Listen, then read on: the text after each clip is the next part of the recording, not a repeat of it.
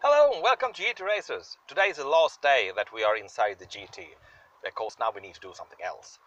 Uh, before we start today, I want to say that thank you for all the very intelligent and very knowledgeable uh, comment that I got yesterday on last on the video from yesterday when I talked about the TorqAmp uh, electric turbo. I think I have a lot more to think about before I'm thinking about getting an electric turbo. And you're right.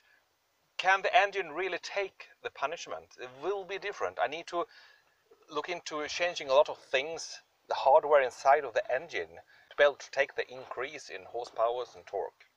But thankful, I'm very happy for all your comments. Today, let's put it together. And so we can finally start on the outside and, and finish the last sill. Let's take a look down into the sill, how it looks now. The sills now is covered thick in a transparent or almost transparent white wax. And it's sticky. Let's see if I can get my fingers in. And it's really sticky all the way to the bottom. And hopefully you see you can still see the rust. The rust is still in the under the wax. But maybe this will help the corrosion, corrosion to stop for a few years. But in the end, probably I have to cut it open and change it to new sills. Let's start with the left interior panel. The only thing that actually broke here, and it's not really broke, is you see these white points. They are supposed to be sitting one here and one there. And this one on this side, I think it, it broke a little bit, but it will work if we just turn it. But eventually it will not work. So now I need to just take these white ones out, um, put them back on, or I could slide them on. Ah, I'm so stupid, of course, because it's open. So let's just slide them on to the left and then push it. Maybe that is why it broke. Well, what do I say? I got the one white out from here, but here everything, no, there, everything loosened.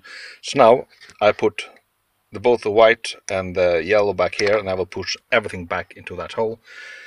But here I manage. So now we should be able to get the first panel in place. On the right panel we have only two problems here. One problem is the yellow piece that's in the side of, of, of the of the door. Now the yellow piece that is on the inside, uh, it of course is still stuck here on on the white peg and I've been trying to get it loose but I'm afraid I will just break it and I have no spare.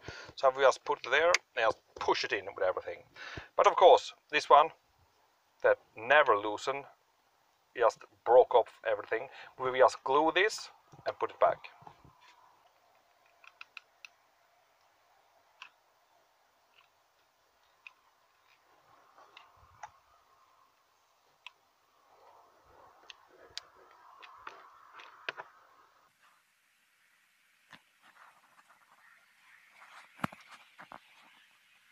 And again, thanks to my wife's glittery glue gun, we managed to fix something. It's amazing. Super tool. Jag vill skruva med handen. Ja, men gör det. Prova att skruva med handen du. This is my youngest son, Philip, and he's helping me because we have put back you know, the sides back, back seats, rear, back seats, rear, what I call it it, is back. Now he's fastened the seat belt, and he have helped me with everything. Have a very good mechanic. And now we will try to do the trim for the door. This was a very short video today. Uh, I had a lot of good help from my Philip who helped me to put everything back and of course putting things back is much easier than taking it off because you just have to reverse everything and uh, the panels, a little bit of problem with the panels because they break a little bit so I have to glue some things back but overall it's very easy. And after I will continue reading your comments about the electric turbo and uh, maybe I will do instead focusing on uh, faster uh, cams and uh, starting looking at polish the intakes and and look through everything. What can I do inside the engine that can make it better performance? Mm, yeah, maybe. But it's a good idea. I'm always interested in new ideas when they come up, like with this new kind of electric turbo. It's not new. It's not new. But another company comes and really put a serious thought about it. Yeah, you start getting thinking like, hmm, is this something for me? You never know what the next thing it will be that comes. So it's always good to stay curious.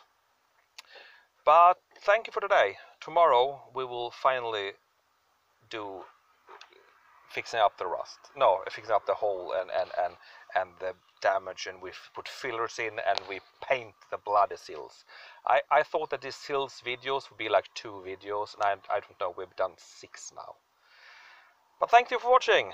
Like and subscribe, and see you next time. Goodbye.